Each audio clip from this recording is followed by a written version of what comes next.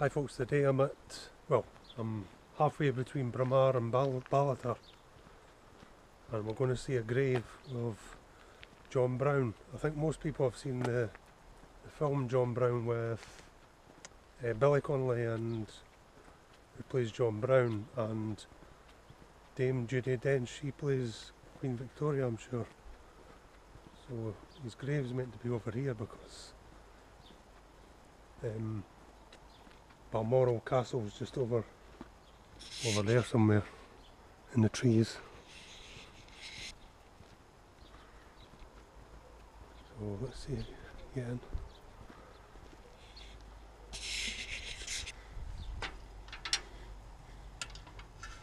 Right, we're going in.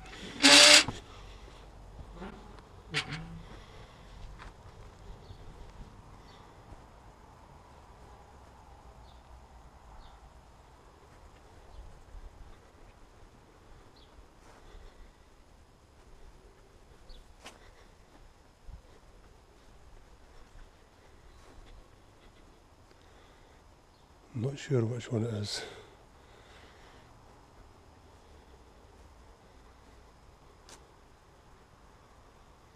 Let's have a look.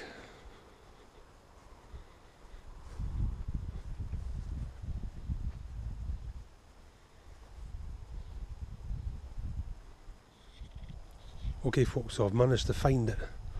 So it says this is a stone created in affection and grateful remembrance of John Brown, the devoted and faithful personal attendant and beloved friend of Queen Victoria.